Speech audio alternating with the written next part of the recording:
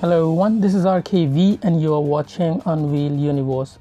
2019 is coming with Samsung Galaxy S9's successor, the Galaxy S10, which is the 10th anniversary S device and Samsung wants to make this device a special one, after which flagship devices from Samsung will be more spectacular and fantastic.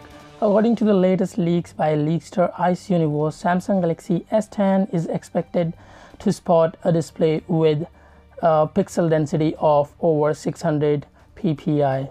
Samsung Galaxy S9 has a pixel density of 570 pixels per inch. So to come up with a pixel density of 600 ppi, Samsung has to reduce the screen size, which is not the case. So Samsung has to increase the resolution to come up with this feature of more than 600 pixels per inch. Samsung is currently using 2K plus display resolution on Samsung Galaxy S9 and S9 Plus. The next step in increasing resolution is a 4K display.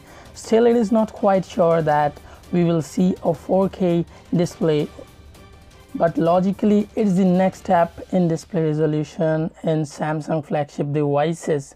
Sony has already attempted this 4K display feature in a number of devices. The latest one is the Xperia X Z2 Premium from Sony.